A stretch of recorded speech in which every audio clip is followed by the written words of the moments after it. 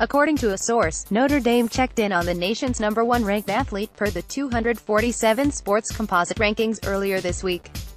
Photo, Michael Clark, 247 Sports, Safeties coach Terry Joseph made his way to Charlotte, NC, Harding University High School on Thursday to see Quavaris Crouch, a 6'2", 238-pounder from the class of 2019, who is listed as the no.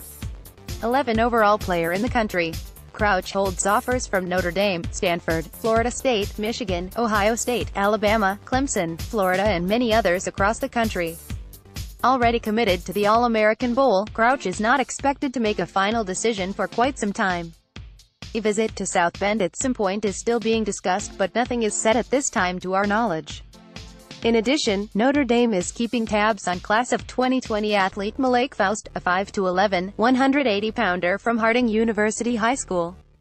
Faust is an outstanding two-way prospect and holds early offers from Penn State, South Carolina and West Virginia. The Fighting Irish Duke, North Carolina State, North Carolina and many others are keeping a close eye on him. Faust is explosive, strong, has great size, and has terrific athleticism. He'll be a big-time prospect this time next year. He best projects as a safety or linebacker at the next level.